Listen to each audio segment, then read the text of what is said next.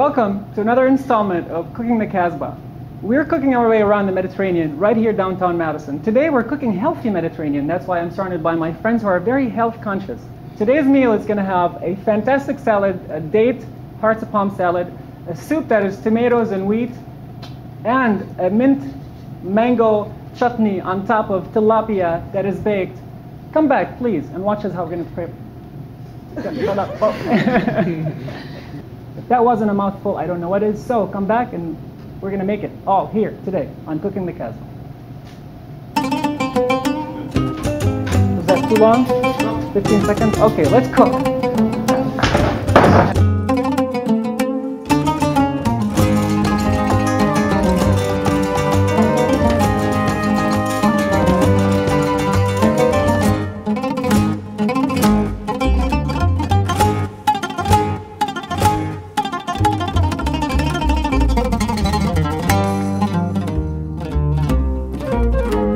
Sabi. I have traveled the world, near and far, in search of exciting foods. Come with me on an epic journey of culinary adventures, right here on Cooking the Casbah.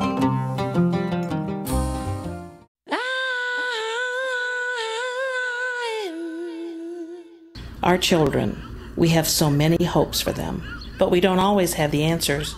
Through the Agenda for Change, United Way is helping parents turn their hopes for their children into reality. By supporting parents, United Way knows more children will grow up feeling that they are full of promise, are safe, are loved. United Way of Dane County is creating real solutions for our children and our community, and that's what matters. To find out more, visit www.unitedwaydanecounty.org. Welcome back. As I mentioned earlier, we're making a healthy Mediterranean meal. Today, salad that is hearts of palm, that's good for your heart, and sun, uh, sun-dried dates. The soup is tomato cracked wheat or bulgur soup, and that's easy and fun to make. And the meal, of course, the tilapia, fillet of tilapia that is cooked and baked in uh, mango mint chutney. So without any further delay, are you guys excited? Yeah. After, after this, you can skip your workout because this is so healthy that it's going to be the workout of watching me make it, right? First of all, uh, salad dressing is so easy to make, and I see a lot of people run out to the store and buy their own. That's fine if you're that busy. But otherwise, it's so easy to make, and the reason why I think it's easy to make is because there's so much of it out there. So I usually make my salad dressing from scratch or from uh, muddled rather than scratched stuff. So I hope this is not too loud for the for anyone on uh, on the set here. First of all, I start with crushing the garlic with a little bit of salt. That's what was in here. Tell it right here so you guys can smell it. When I do, is this enough garlic?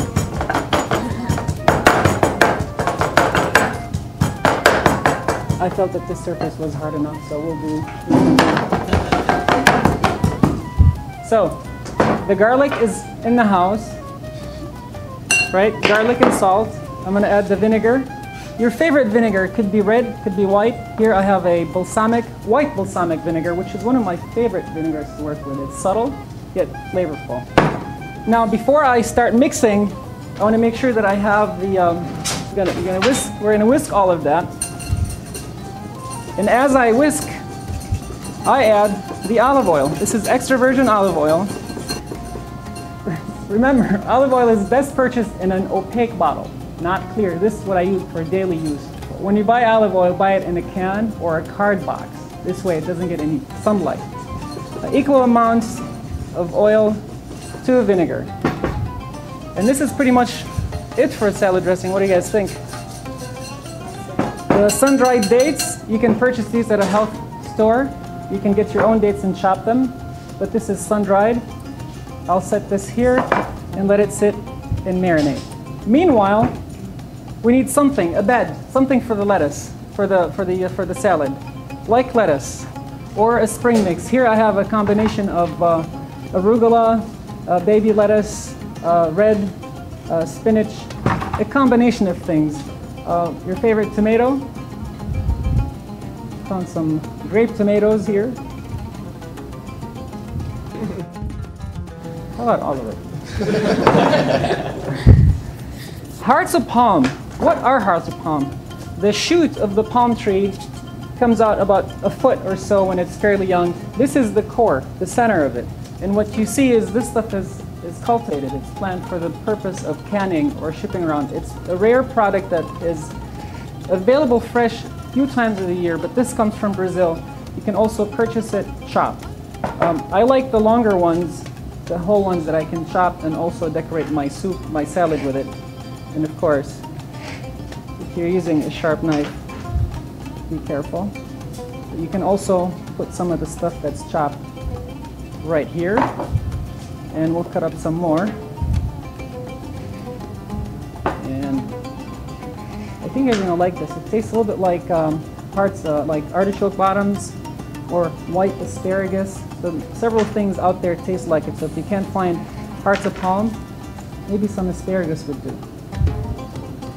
With that, some seeds, sunflower seeds. If you like any nut, your favorite nut, hopefully it's not a TV personality, right? Because then it look really funny on, on your salad. and uh, that's how she goes. And as far as serving, the best thing to do with this when you serve it is find the proper utensil, of course. Um, find the proper utensil, of course, and then serve it on a plate like this. And the proper utensil is. Sorry, Pete. That's what I was looking for. I'll get some of the greens on the bottom. And remember some of that dressing that we put on top. And this, my friends, is a healthy Mediterranean salad. Come back, we'll start the soup.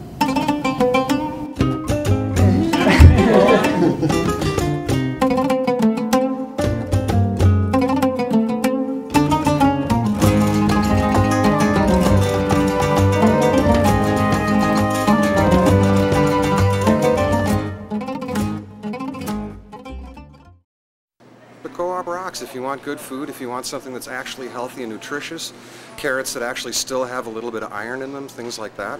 This is the place to go, period. We're back. How's the salad? Great. Hey, thanks for saving me some. Once again, I end up feeding everyone. I didn't get any. Uh, the soup we talked about. Remember, healthy Mediterranean. The soup, easy, fun to make. The first thing I chose was wheat, some cracked wheat. Number one wheat. Number two wheat. And this is the pot. With a little bit of heat on, a hint of olive oil, white onions, white pepper, sea salt, number one wheat. You might ask, number one, what do you mean number one? It's the size of the cut. This is number two, the coarser of the two. And this is number one. Notice how fine this looks compared to that. Uh-huh, uh-huh. I'm turning this into an educational show. I'm gonna add them in here anyway. Now, while this sautés a little,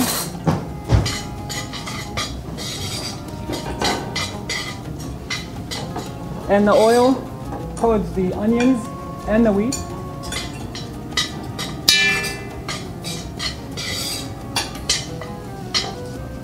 If I feel it needs a little bit more oil, I'll add a little bit more olive oil. Now let this sit and heat a little. Now this is tomato soup, so I need tomato sauce. You can also make tomato juice, squeezing some tomatoes. And the way I like to squeeze my tomatoes is easy. Um, most households have some of these. You get the ripest tomatoes you can get your hands on. Don't get the ones that are good for a salad like these firm tomatoes.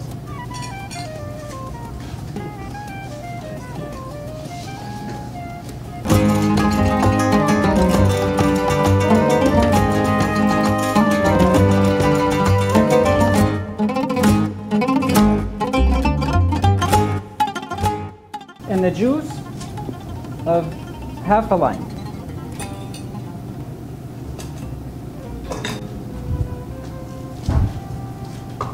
And this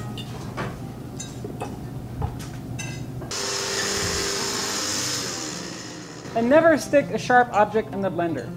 And I am a trained professional. Especially when the blender is running.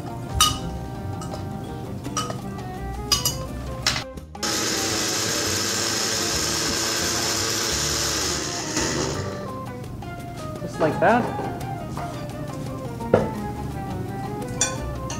Mix it all in there. And using a ladle, I help the stuff through. So can you use any type of tomato? Or do you have a preference? Something right. A steak tomato, something with a lot of meat. And this is great towards the end of the season, the tomato season, when the tomatoes are very ripe. And if you go to the farmer's market here locally, at the end of the farmer's market during the day, when they nobody else wants those tomatoes, that's the tomatoes you want to buy. You do the favor, you do the, the farmers a favor by buying things that no one else did, and also you can make soup out of it. This is calling for the juice. I'm to add the juice right here. And do the rest of it.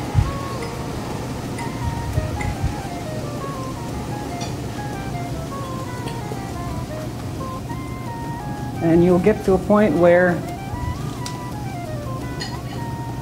pretty much all that's left is skin and seeds. And the longer you blend it, the less you'll have left in the sieve, and the thicker the product will be in the pot. You guys get the idea? This is the beginning of our soup, and we're gonna pay, pay close attention to this.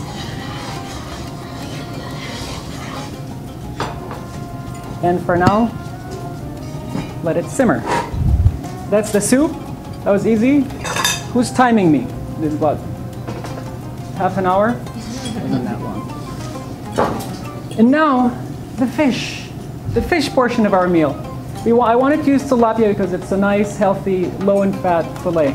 And you can find them available in your seafood center in just about any size fillet. This is a roughly an 8 ounce. Uh, we're going to bake this. But before we bake it, I'll show what we're going to put on the bottom of that. Plantains. How did the plantains make it to the Mediterranean? We're cheating today. I got some plantains. Does anyone know where the plant uh, is tropical, Central African? I like them because they're a form of starch and they're not rice or pasta. Something in the middle. You can buy them very green. This I selected kind of brownish, uh, telling me that it's that it has enough sweetness in it.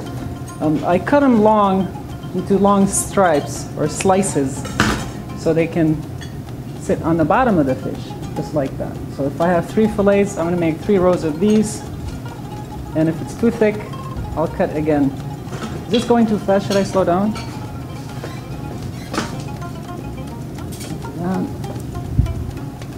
One more. Side. Uh, and it's easier to peel after I slice them. Any which way you like them, then that way. This is the base for this fish dish. Now, it looks pretty dry, doesn't it? It needs some sauce. And that's where the mango comes in. The mango juice, you can make mango juice using the same method that we use for the tomatoes. It's okay if it has a little bit of tomatoes in it. Put some mango. And I, I want to show you before we start blending this. Uh, you can get these in your local produce, something exotic, maybe not. They're becoming more common. Uh, there's a seed that sits inside like that. And what I need to do is take the meat off the, the seed. So as it sits, lays down this way, I cut along this seed. And this is the seed. See this part? That's the seed. I'll do the same thing on the flip side of it.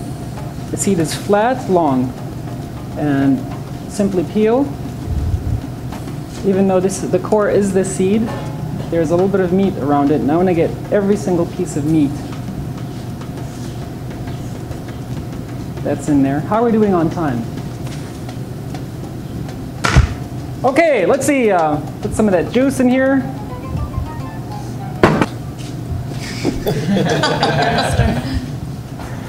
Don't blend this the same way we did the tomatoes. I added some of the juice to help it blend faster.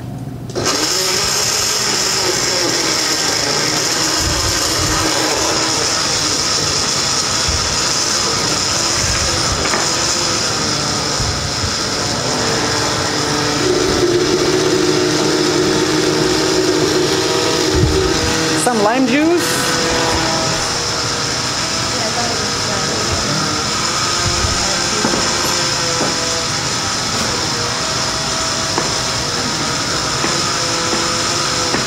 I'm slicing some peppers for the top of the fish.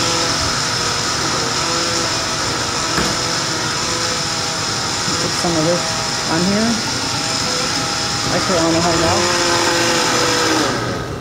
And then this is the mango puree. Added to the rest of our mango. This is a lot of mango puree for those three fillets. But we can control we can control how much of it we use, just like that.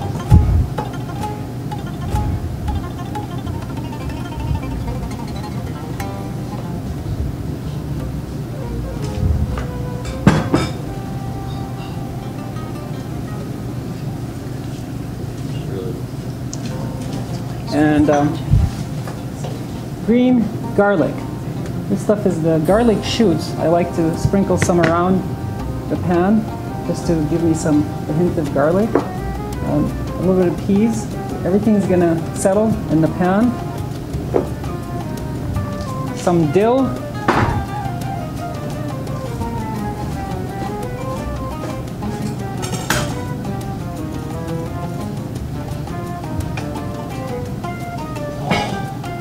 We're almost ready with the soup. Uh, cumin, And this, this is definitely an optional thing, cayenne. Hot or not? Hot. We go hot. I like these kids.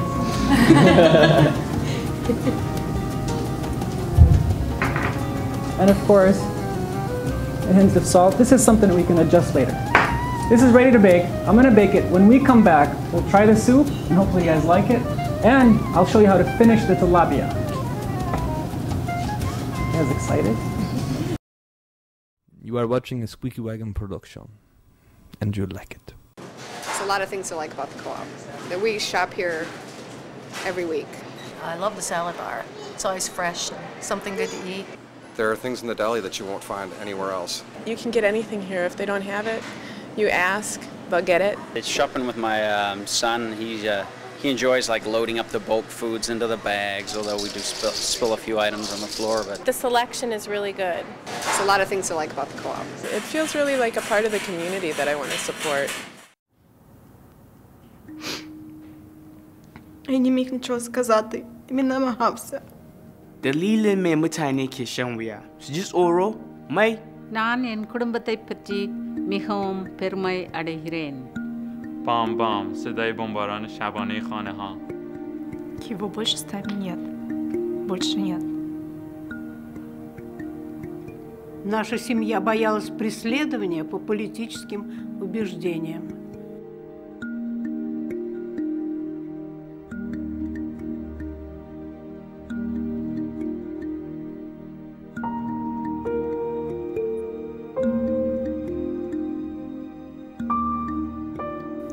Papá no es el mismo. No desde la guerra.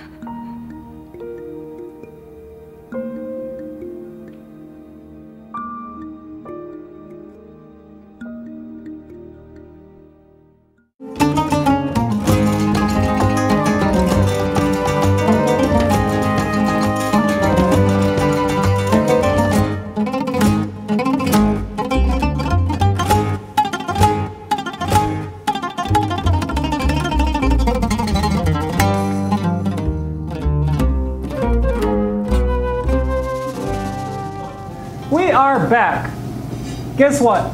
The soup is ready to serve. We're gonna do that, and I'll check up on the fish. We'll make the final step of the fish, that is the mint chutney. And eat it, of course, right? Is this what convinced you guys to wake up so early in the morning and come to a shoot of Cooking the Casbah? So this is lunchtime for most of you, right?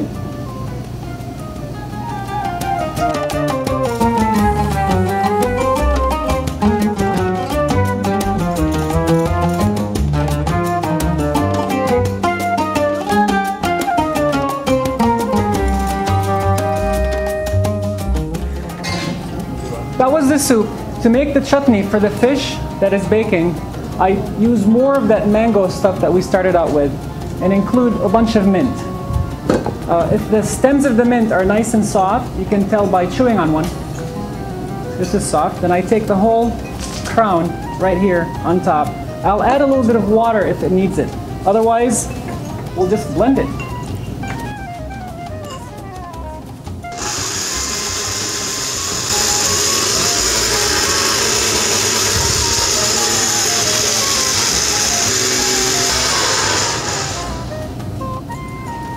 This is the desired consistency to make the uh, chutney. Oh. This is our mango tilapia before the chutney.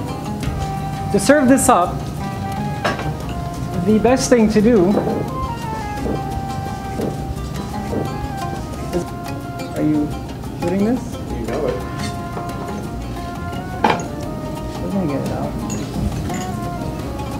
Set on top. And of course, clean this up.